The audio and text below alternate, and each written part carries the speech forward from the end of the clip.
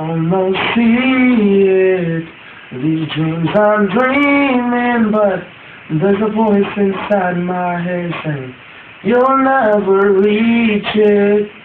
Every step I've taken, every move I make feels lost without direction.